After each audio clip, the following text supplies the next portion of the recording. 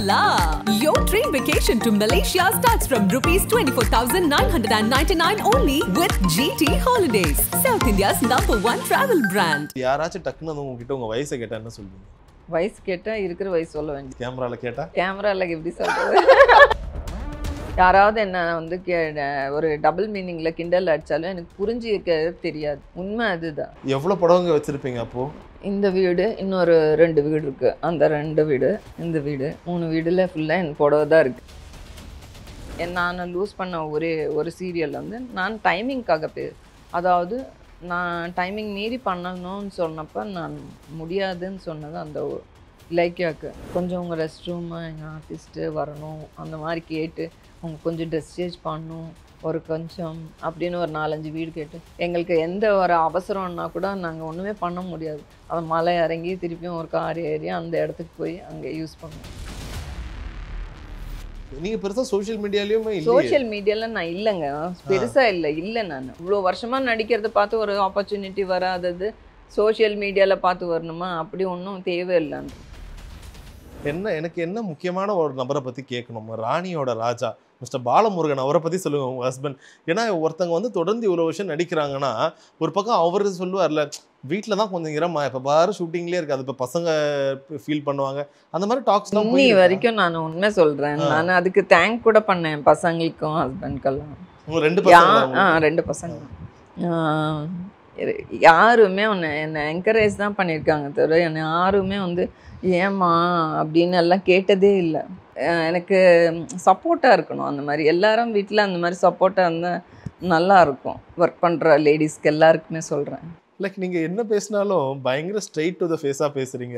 இங்க முகத்துக்கு நேரா ரொம்ப சிரிச்சிட்டு பேசிட்டு பின்னாடி போய் பேசுறது அது அதிகமா நடக்கும்னு சொல்லுவாங்க இந்த சின்ன சீரியல் அந்த யாருமே இனிமே எல்லாம் இல்லை. எனக்கு எல்லாரும் ஃப்ரெண்டு தான். எனக்கு பர்டிகுலர் இவங்க ஃப்ரெண்டுன்னு சொல்ல சொல்லுங்கள் எனக்கு தெரியாது. யாருன்னு யார் ஃப்ரெண்டு அம்மா உனக்கு யாரும்மா ஃப்ரெண்டு ரொம்ப க்ளோஸ் அப்படின்வாங்க என் பசங்க. எனக்கு எல்லாரும் ஃப்ரெண்டு தாம்மா. உள்ள உனக்கு யாருமே ஃபோன் பண்ணலையே? நான் நான் ஃபோன் பண்ண பேச போகிறாங்கம்மா நான் ஃபோன் பண்ணல அவங்க பேசலை. இப்போ அவங்க பாவம் ஒரு வாட்டி ஃபோன் பண்ணுவாங்க. நம்ம அடுத்து ஃபோன் பண்ணால் தானே. விஷயம் இருந்தால் பண்ணலாம். நீங்க ஹேங் அவுட் அந்த மாதிரிலாச்சும் போவீங்களா? இப்போ நிறைய பேர் போவாங்கல்ல. இந்த சீரியல்ல ஒரே டீமா வெளியில போறது அந்த மாதிரியாச்சும் போயிருக்கு போனது இல்லைங்க கூப்பிட்டுருக்காங்கன்னு எனக்கு என் பசங்களை பார்த்துக்கணும். எந்த அங்கேயே ஃபுல்லாக ஒர்க் இருக்கும். அந்த மாதிரி எப்போவுமே நான் வெளியில் போனதே இல்லை. நான் போனது இல்லைம்மா. அப்படியே என் பசங்களுக்கு சொல்லுவேன் நான் வந்து அந்த மாதிரி போனது. ஏன் நீ ஃப்ரெண்ட்ஸ் எல்லாம் மிஸ் பண்ணுற அப்படி போனால் தான் ஃப்ரெண்ட்ஸ் வருவாங்கன்னா அப்படி வேண்டாம் எனக்கு ஃப்ரெண்ட்ஸ் எனக்கு நீங்கள் தான் முக்கியம். அப்படின்னுவேன். எனக்கு நீங்கள் தான் முக்கியம் உங்கள் படிப்பு தான் முக்கியம். நான் அதனால் நான் எப்போவுமே அதுக்கு இம்பார்ட்டன்ஸ் கொடுத்தது இல்லைங்க இப்போ பசங்க என்ன படிக்கிறாங்கன்னு தெரிஞ்சுக்கலாமா? என் சன் இன்ஜினியரிங் கம்ப்ளீட் பண்ணியிருக்காரு. இப்போ ஜாப் பண்ணிகிட்ருக்காரு பாப்பா வந்து எயித்து படிக்கிறாங்க. Okay okay. ஆனால் உங்க யாருன்னா வெளியில சொன்னா நம்புவாங்களா? உங்களுக்கு இன்ஜினியரிங் படிச்சு வேலைக்கு போற ஒரு பையன் இருக்காருன்னு சொன்னா? நம்ப நம்ப மாட்டேன்றாங்க. ஆமா. நான். எங்களாலே நம்ப முடியல இருந்தாலும் நான் சொல்லுவேன். ஏன்னா வந்து எனக்கு அது சந்தோ- சந்தோஷம். நிறைய பேர் வந்து மறைப்பாங்க தனக்கு கல்யாணம். ஆக்சுவலி அலைகள்லாம் பார்த்தீங்கன்னா நான் கல்யாணம் ஆளே தான் சொல்லுவாங்க எல்லாரும். என்ன என்ன படிக்கிறேன்னு தான் கேட்பாங்க அப்போல்லாம். இல்லை என்ன சன்னு கூட்டிகிட்டு வருவேன் சின்ன குழந்தை அப்போ மூணு வயசு. அம்மா வந்து புக்ஸ் எல்லாம் கூட வாங்கி வடிவம்மா வந்து புக்ஸுக்கு அவங்க டாட்டரோட புக்ஸு ரைம்ஸ் எல்லாம் எங்க எனக்கு கொடுப்பாங்க. குழந்தைக்கு கூட இப்போ கூட அவங்க வந்து ஃபார்ட்டி ஃபிஃப்த் இதுக்கு போனோம்ல ட்ரிபியூட்டுக்கு அன்னைக்கு கூட ஏய் தம்பி இவ்வளோ வளர்ந்துட்டான் அப்படின்னாங்க. ரொம்ப சந்தோஷமாக பட்டாங்க பசங்களை பார்த்துட்டு. Okay okay. இப்போ இப்போ உங்க பசங்களுக்குன்னு இருக்கும்ல இப்போ எல்லாருமே வந்து அவங்க அம்மா வந்து இவ்வளோ ஒரு சூப்பரான எல்லாருக்குமே தெரிஞ்ச ஒரு ஆர்டிஸ்ட்னா அவங்களுக்கு அது ஒரு பெருமை பெரிய பெருமை இல்லை. ஸோ அவங்க என்ன சொல்லுவாங்க? அவங்க எப்பயாச்சும் பார்ப்பாங்களா உங்களுடைய சீரியல்ஸ் பார்த்துட்டு? எனக்கு என்னன்னா நான் இன்னும் பெரிய ஆர்டிஸ்ட் ஆன மாதிரி எல்லாம் என்ன நினைக்கலங்க. இன்னும் எதுவுமே சாதிக்கல அப்படின்னு ஃபீல் பண்ணிட்டு இருக்கேன். உண்மை அதுதான். சொல்லணும்னு சொன்னீங்கல்ல. ஸோ உங்களுக்கு இன்னும் ஒரு டைட்டில் கேரக்டர் பண்ணணும் அந்த ஒரு ஆசை இருந்துக்கு ஏன்னா இப்போ நீங்க வந்து வில்லினும் போது அது பயங்கர இல்ல டைட்டில்ல நான் இருந்தேன். வள்ளி டைட்டில்ல அவங்க ரெண்டு ரிவர்ஸ் கேரக்டர் பாசிட்டிவ் நெகட்டிவ் டைட்டில்ல ரோல் பண்ணேன் நான். ஓகே ஓகே எல்லாருமே இந்த ஒரு கருத்தை ஒன்றா சொன்னாங்க. என்ன சொன்னாங்கன்னா இப்போ நாங்களாம் வரும்போது ஒரு ஷார்ட் முடிஞ்சிட்டா எல்லாரும் உட்காந்து பேசுவோம். அது ஒரு மாதிரி நல்லா இருக்கும். இப்போ பார்த்தீங்கன்னா இந்த ஜென்ரேஷன் ஷார்ட் முடிஞ்சதா? அதனால அவங்க ஃபோன் எடுத்துட்டு போயிடுவாங்க. சீனியர் ஆர்டிஸ்ட்க்கு ஒரு மரியாதை கொடுக்க மாட்டாங்க. இப்போ சீனியர் ஆர்டிஸ்ட்க்கு யாரும் மரியாதை கொடுக்க மாட்டேன்றாங்க. அதனால நான் சீனியர் ஆர்டிஸ்ட்னு நான் சொல்லிக்கல. நான் வந்து அவங்க அவங்களோட ஈக்குவலாக தான் நான் இருப்பேன். எனக்கு அந்த மாதிரி இதெல்லாம் வேண்டாம். என்ன நான் ரொம்ப பேச மாட்டேன். செட்லயும் சரி ரொம்பலாம் ரொம்ப பேசிக்க பேச மாட்டேன். கிண்டல் அடிக்கிறது ஷார்ட் முடிஞ்சோடனே ஜாலி கிண்டல் அடிக்க தெரியாது. யாராவது என்ன வந்து ஒரு டபுள் மீனிங்கில் கிண்டல் அடித்தாலும் எனக்கு புரிஞ்சுக்க தெரியாது. உண்மை அதுதான். அதனால நோ அவங்களுக்கே எனக்கு ஒரு எதுவுமே வராது. நீங்கள் கிண்டலாக அஹ் என் பையனை சொல்லுவான்? அம்மா நான் கிண்டல் பண்ணேம்மா சிரிம்மா அப்படின்வான் கிண்டலாடா பண்ணேன் எனக்கு புரியல அப்படின்வேன் அவ்வளோ நேரம் எடுங்க எனக்கு பெருசாக காமெடினா ஹாஹான்னு சிரிக்கிறது அதெல்லாம் எதுவுமே உங்களுக்கு எல்லாம் வில்லி ரோல் கொடுத்து கொடுத்து உங்களை வந்து பயங்கர மாத்தி ஏலே வச்சிருக்காங்க வில்லி ரோல் கொடுத்ததால. இல்லை. எங்க அப்பா தான் ஆ. எங்க அப்பா தான் சின்ன வயசுல பொம்பளை பசங்க ரொம்ப ஹஹஹஹான்னு சிரிக்க கூடாது சிரிக்க கூடாது சொல்லுவாரு. அது அப்படியே மைண்ட்ல ஏறிடுச்சு. ஏதாவது கேட்கலன்னா டமால்னு என் பக்கத்துல இருக்கிறது உடைப்பாரா? அந்த சத்தத்துக்கே எல்லாம் கப்சிப் ஆயிடுவோம். நாங்க நாலு பேரும் சைலண்ட் ஆயிடுவோம்.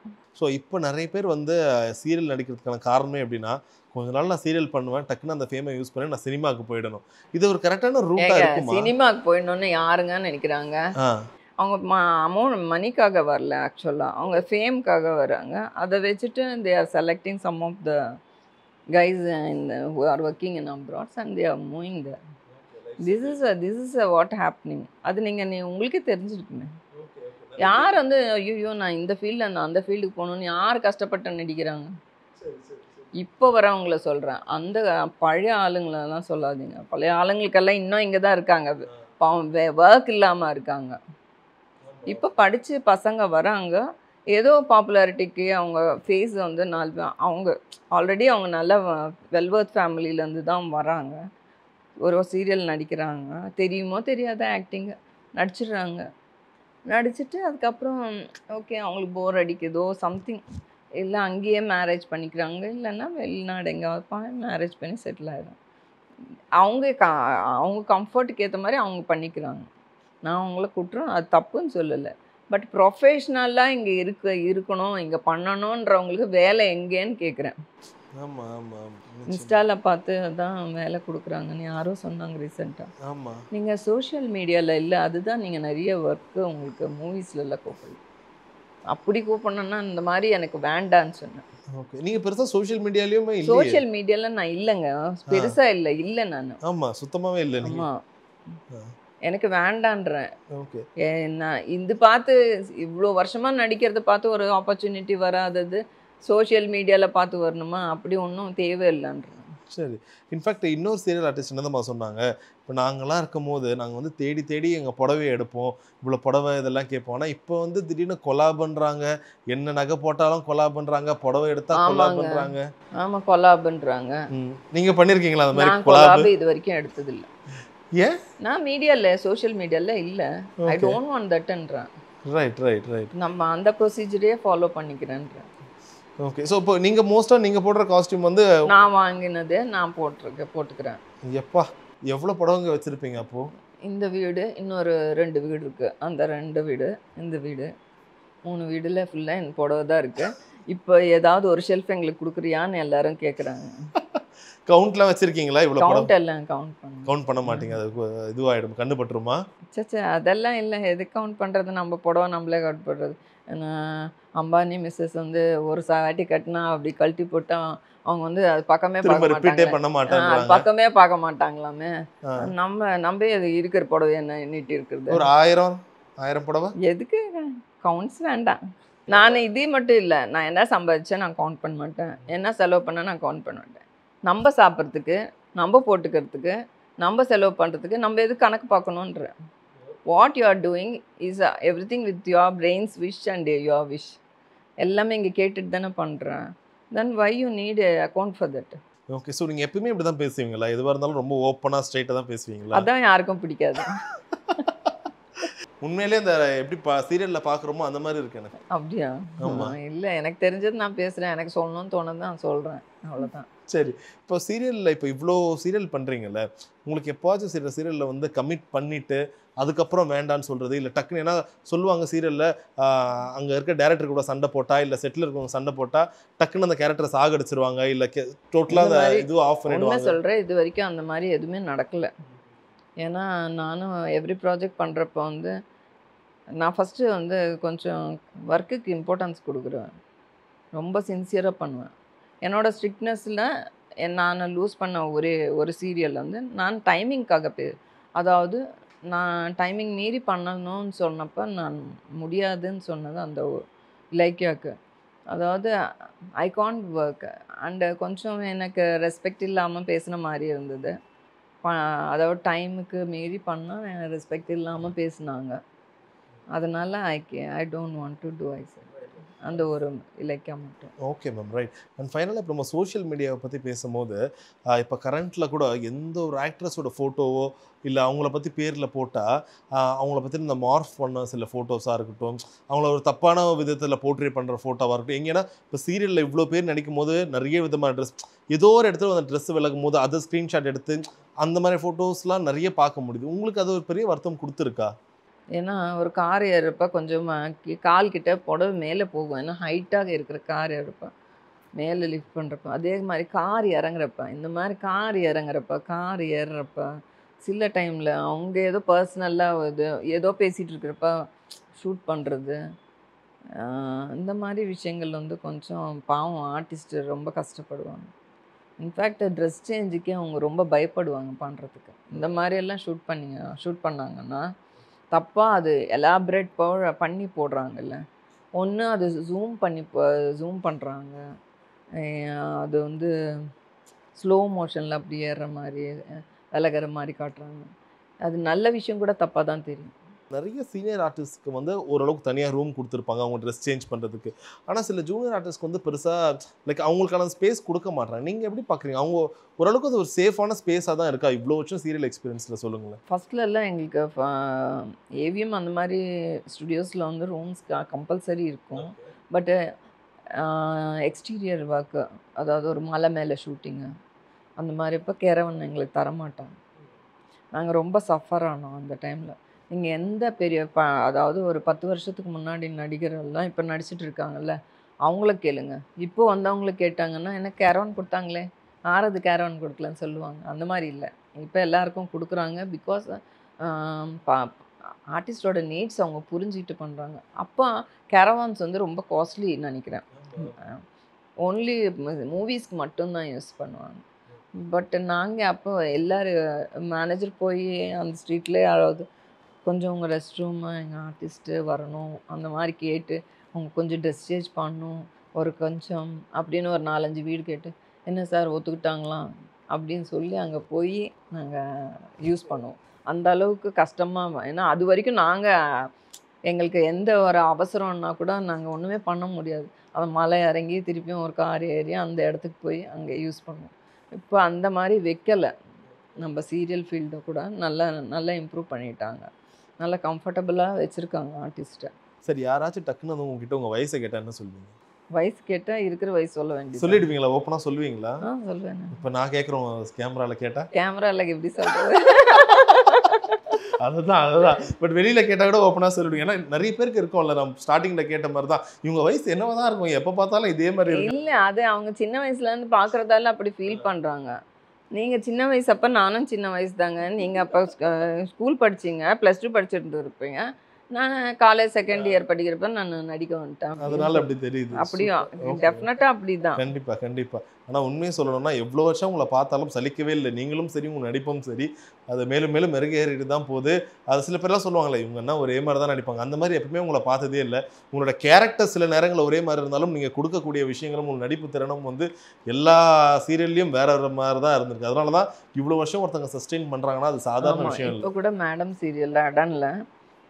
தாய தாயம்மான்னு தாயம்மா குடும்பத்தர்னு ஒரு சீரியல் பண்ணிகிட்ருக்கேன் மேடம்க்கு ஆப்போசிட் ரோல் தென் இத்தனை நாளும் மேடம்க்கு ஆப்போசிட் ரோல் பண்ணதில்லை. எனக்கு ரொம்ப சந்தோஷம் அவங்க அந்த கேரக்டர் கூப்பிட்டப்போ ராதிகா மேடம்க்கு ஆப்போசிட் ரோல் ஸ்ட்ராங்காக பண்ணணும்னு சொன்னப்போ ஐ வாஸ் ஸோ ஹாப்பி இப்போ ஒருவேளை இப்போ டக்குன்னு வந்து ஒரு கரண்டில் ஒரு ஒரு ஹரிஷ் கல்யாணம் இல்லை ஒரு அதர்வா போல ஒரு ஹீரோக்கு சொல்றாங்க. இவங்களுக்கு அம்மாவா நீங்க நடிக்கணும்? அந்த மாதிரி சொன்னா நீங்க என்ன சொல்வீங்க. உங்களுக்கு இந்த அம்மா அக்கா அண்ணி அது ஒரு பாகுபாடே இல்லை. எனக்கு அது கேரக்டர் பண்ணணும். அது ஒரு சீன் வந்தாலும் ஸ்ட்ராங்கான கேரக்டர்ஸ். இருக்கும். அது ஃபார் எக்ஸாம்பிள் சொல்கிறேன் அம்மா வந்து ரஜினி சார் படத்தில் அருணாச்சலத்தில் பண்ணுவாங்க. அது யாராலையும் மறக்க முடியாது. எக்ஸலண்ட்டாக நடிச்சிருப்பாங்க. அந்த மாதிரி பயங்கரமான விஷயம் அது. அந்த ஏஜுக்கு ஃபஸ்ட் அந்த கேரக்டர் பண்ணுறதே ஒரு பெரிய விஷயம். அதுவும் அந்த படத்துலேயே அது மறக்க முடியாத ஒரு கேரக்டராக இருக்கிறது ஒரு பெரிய விஷயம். அது ஒரு ஹீரோ ஹீரோயினாக மட்டுமே இல்லை. சப் கேரக்டர்ஸ்னாலேயும் ஒரு படம் நிற்கும் இந்த இன்டர்வியூட நிறைவில் எங்களுக்கு வந்து ஒரிஜினல் ராணியாக நாங்கள் பார்த்துட்டோம். அப்படி டக்குன்னு ஒரு பத்து செகண்ட் அந்த ஒரு சீரியல் ராணி வந்துட்டு போனால் இன்னும் நல்லா இருக்கும்னு நினைக்கிறேன். இப்போ நீங்கள் வந்து ஒரு நாலு மணிக்கு வர சொன்னால் நான் பாட்டுட்டு லதா ஒரு ஒரு ஆறரை மணிக்கு வரேன். வந்துட்டு சொல்றேன் மேம் நாங்க ஒரு ரெண்டரை hour தானே லேட் ஆயிடுச்சுன்னா ஒரிஜினல் ராணி எப்படி மாறுவாங்க? இல்லை கோவம் வந்து ரொம்ப எக்ஸ்ட்ரீ எக்ஸ்ட்ரீம்க்கு வரும் பட் நான் டாலரேட் பண்ணுவேன் ஒரு எக்ஸ்டென்ட்டுக்கு கோவத்தை வந்து கண்ட்ரோல் பண்ணுவேன். பட் ரொம்ப ஒரு மனுஷனை எப்படி எப்படி இருக்கும் அந்த ஒரு கோவம்? கொஞ்சம் வெளிப்படுத்த முடியுமா? கோவம் காட்டுறது வந்து அப்படி நீங்க சொல்ற மாதிரி ஆக்டிங் தேவையில்லை. எழுந்திரிச்சு போனாலே கோவம் தான் தெரியுதா. உங்களை இன்சல்ட் பண்ண மாதிரி தானே? அதுக்குன்னு எழுந்துட்டு போயிடாதீங்க. நீங்க எழுந்து போகலாம் போக மாட்டீங்கன்னு தெரியும். என்ன நீங்க வந்து ஒரு ராணி தான் எப்பவுமே எங்களுக்கு. ஸோ நீங்க சின்னத்திரை மட்டும் இல்லை கூடிய சீக்கிரத்தில் பெரிய திரையில் நீங்க சொன்ன மாதிரி பல ஹிட்டுகளை அங்கேயும் தரணுன்ற ஒரு வாழ்த்துக்களோட இந்த நேர்காணல் நிறைவு செய்கிறோம் thank you so much for time and all the best ma'am. Thank you thank you so much Hola! Your train vacation to Malaysia starts from rupees 24,999 only with GT Holidays, South India's number one travel brand.